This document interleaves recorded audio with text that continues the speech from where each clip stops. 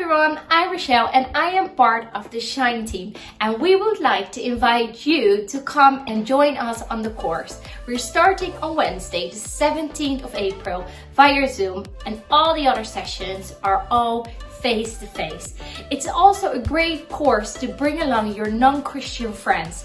The course is based on Christian values, but we're not focusing as much on our faith, but more as us as our individuals. So we're focusing on our worth, our strength, and our purpose.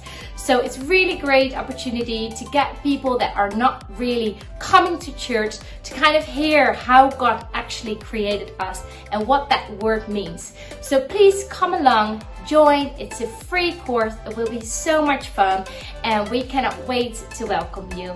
Any more information that you want, just come and talk to us and we would love to see you there.